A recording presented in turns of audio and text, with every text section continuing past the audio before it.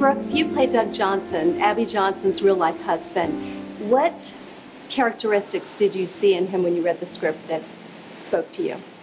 I think Doug and I are very relatable. Um, from the, the words on the pages, he, he just came across as a, a really good guy, like just a fun guy.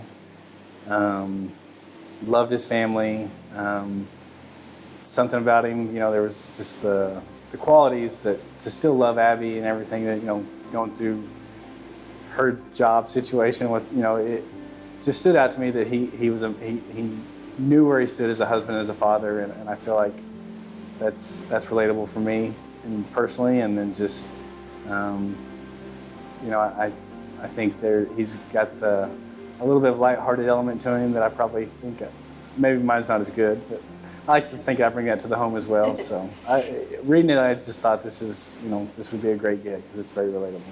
You're a father and a husband, and you're expect your wife is expecting a new baby. How does this hit you as far as the whole story and what's going on with the women and the babies? And... It's it's words don't do it justice. It's very powerful. Um, we have an eight-month-old and then she's 21 weeks tomorrow with our second one. And, you know, we, uh,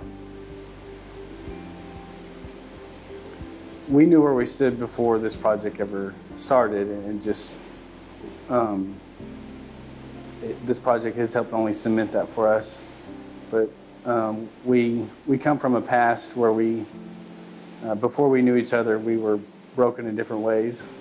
And, and God brought us together in it to restore us, to make true beauty from ashes. And um, part of her past is, is she was told she would never have children.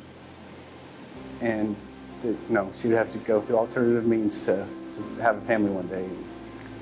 Uh, we came together, we, we prayed together, we prayed over a womb, and here we are, a year apart with two of them. So, yeah. It, life means a lot to us, and our family means you know more than anything to us. So it, it's important for us to help be a part of something like this to hopefully give that same sort of feeling to others as well. How important is this film for hope and healing for so many people? We we truly believe it will. We want it to be presented and come across to those that are dealing with either going through something in the, an abortion in their past or thinking about like it is about hope and healing. It's about conviction, grace, love, mercy, you know, the things that we all we all need, you know, are not separated from without God's love. And it's not about condemnation, it's not about judgment or finger pointing.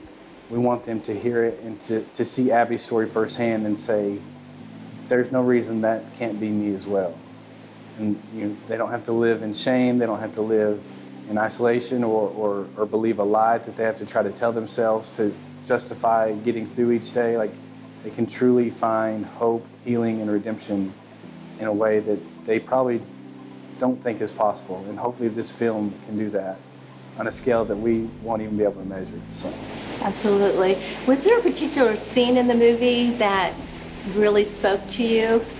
Um, there's a moment in the movie where Abby is, is ready to make a lifestyle change, and she's kind of just um, breaking down and opening up and, and, telling Doug, you know, she's ready, and um, just the, the magnitude of the truth behind everything she had been through as she pours it out, and uh, as, as Doug and, and being the husband right there, you know, it's there's probably a lot of things that you would want to have follow-up questions on or, or, or just, you know, counter with, but, you know, all you can really do is just hold her and love her and protect her and let her know that it, it's going to be all right. And that, you know, to be at that point where she's at means that the, the future is going to be a lot better than the past. So that's pretty impactful.